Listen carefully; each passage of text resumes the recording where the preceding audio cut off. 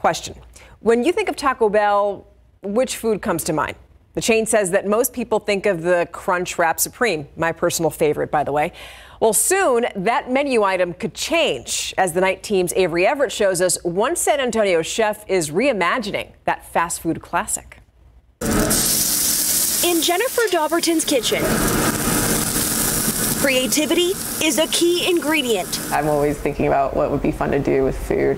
Behind these kitchen doors at Best Quality Daughter, Dobbertin cooks American classics with a twist. The Taiwanese popcorn fried chicken, which is like a chicken nugget. Pulling inspiration from places across the world. Chinese influence, Taiwanese influence, Thai and Southeast Asian influence. And cities a whole lot closer to home. Lots of like South Texas influence just because I've spent most of my life in San Antonio and in South Texas. Her flair is hard to find. I just wanted it to be like a fun restaurant that was almost of an immersive experience when you eat here. It's gotten her repeat recognition as a 2023 and 2024 James Beard Award semifinalist. I was always into cooking and I was always into food.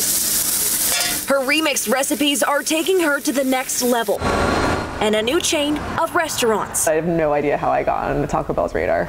Dobbertin is one of three chefs across the country kicking off Taco Bell's TBX program. The goal is to support and promote emerging culinary talents. Each chef will put their own spin on the Crunch Wrap Supreme. I just want to have fun with it.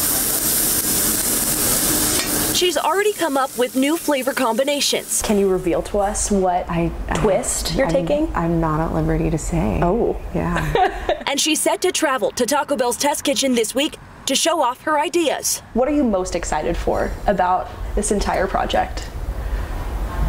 I think it'll be really fun to see it roll out. Taco Bell has yet to announce when and where her Crunchwrap Supreme will be served.